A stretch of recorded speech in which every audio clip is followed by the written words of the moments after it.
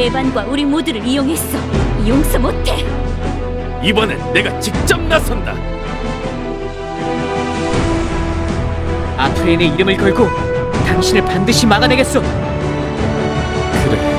여기까지 와서 긴 말은 필요 없지.